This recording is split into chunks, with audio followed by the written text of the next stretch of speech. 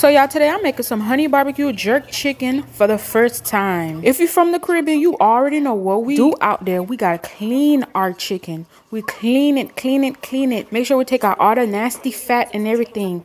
Then you put some lime and vinegar and some hot water. And these are the things I season my meat with. So I use some Jamaican jerk, some épices, some complete seasoning, onion powder, garlic powder, some sazon, black pepper, salt. And I added some green peppers and onions to it as well.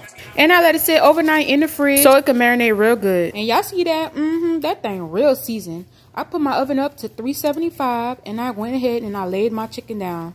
Them things finna be busting with flavor. Ain't nothing bland over here, okay? I forgot to tell y'all, but I also put some Maggi, aka chicken bouillon, in it too. Then I added some water because I needed some gravy because I'm finna do chicken and sauce on the side. I basted my chicken every 20 minutes, putting the mm. broth over it so it could be real juicy and real good. And that gravy was fire. And I'm gonna use this to make my chicken and sauce and to add to my barbecue sauce. I put it back in the oven because I needed my chicken to be tender, falling off the bone.